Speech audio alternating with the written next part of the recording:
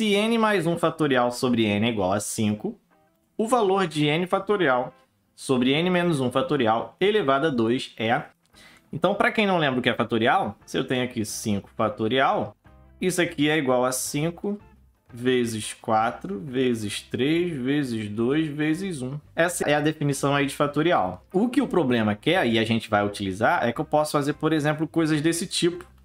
Eu posso escrever o 5 como sendo 4 fatorial, porque é o 5 menos 1 fatorial. E esse é o pulo do gato nessa questão.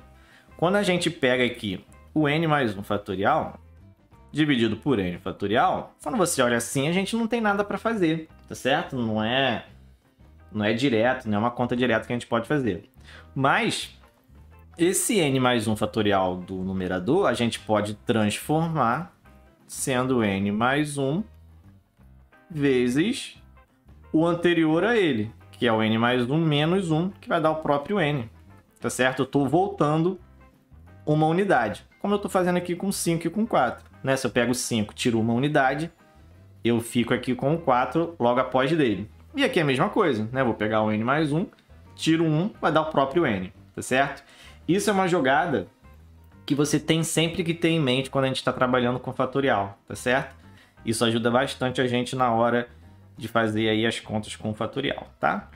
É, e aqui agora ficou pff, maravilha, tá certo?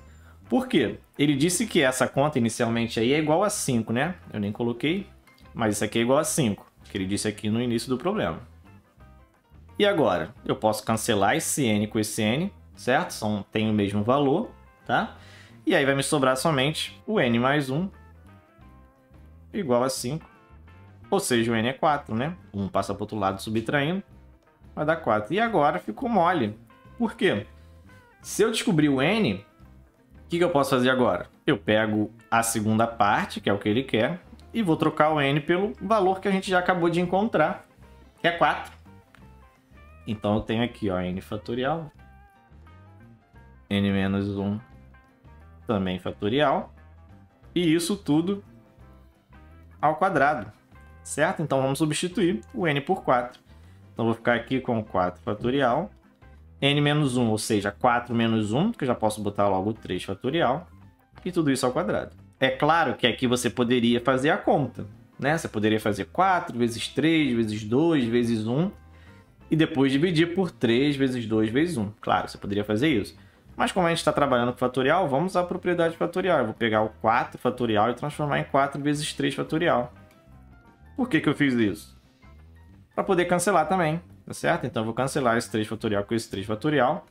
E aí vai me restar somente o 4 ao quadrado, que é 16, letra D de dado.